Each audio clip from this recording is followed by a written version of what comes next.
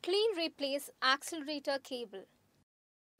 In this session, we will learn step-by-step procedure of replacing or cleaning accelerator cable. The speed of the motorcycle is increased by turning the accelerator. The function of the accelerator is to provide sufficient fuel to engine to produce more power.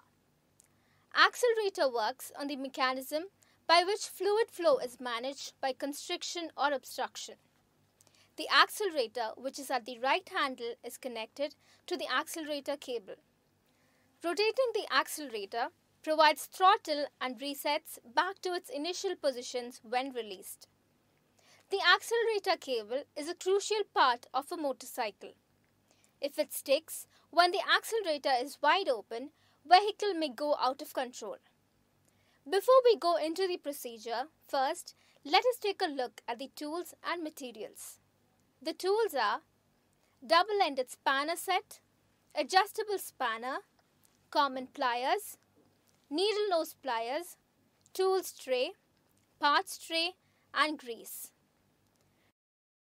Reusing a damaged throttle cable can prevent proper throttle operation and may lead to a loss of throttle control while riding. With the engine idling, turn the handlebar right and left to ensure that the idle speed does not change.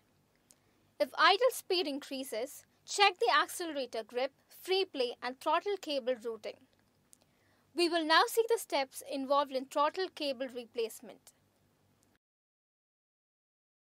Remove lower end of the throttle cable.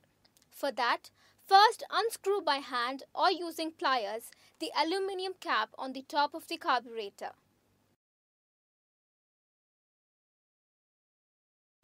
Slowly pull out the needle piston at the end of the cable by hand. Which way the slot on the needle piston faces when you pull it out. It will need to go back in at exactly the same orientation. Next, holding the piston in one hand, compress the exposed spring with the other hand. This loosens the end of the core and allows the core with its soldered end to slip through the slot outside of the piston, releasing it. Note the position of the spring. It may be tapered on one end and must be reassembled the way it was taken apart. Place the needle piston, cap and spring into the parts tray exactly as you took them out. Remove the upper end of the throttle cable by loosening the two screws on the throttle hand grip. Then, using needle nose pliers, gently move the cable to the side and align it with the slot and slide out the cable.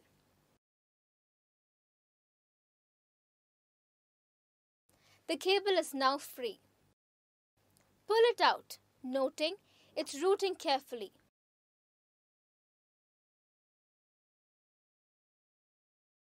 Wipe it clean and lubricate the core ends with thin oil.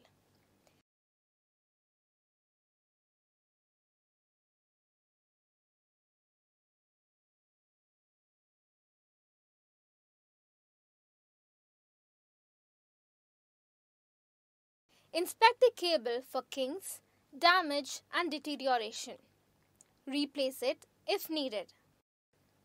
Install the throttle cable by rerouting it the way it was removed.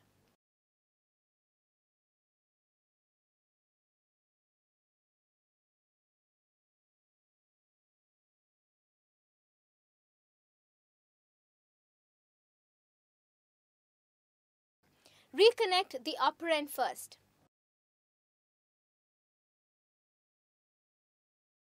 Once the pivot end is back in its pivot hole.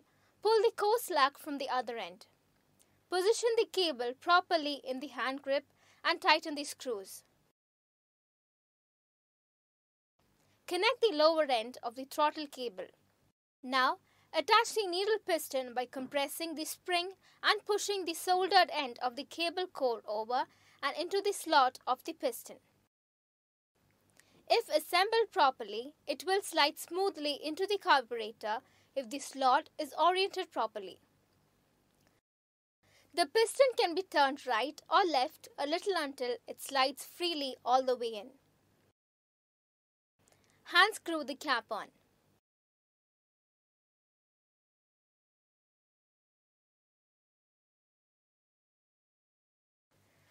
Test the throttle by turning the hand grip. If it freely returns to the idle position, it has been installed properly. If not, the needle piston slot is not oriented correctly. Unscrew the cap and rotate the slot until it goes down a little further into the hole and retest. Tighten the cap slightly with the pair of pliers. The throttle grip free play should be 2 to 6 mm. Measure it with the ruler. There are adjusters in both ends of the cable. The upper one is for minor adjustments.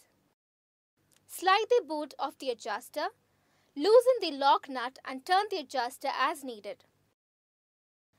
After adjustment, retighten the lock nut and slide the boot back into place. Major adjustments are made with the lower adjuster. Finally, test drive the vehicle with attention to accelerator to ensure its smooth working.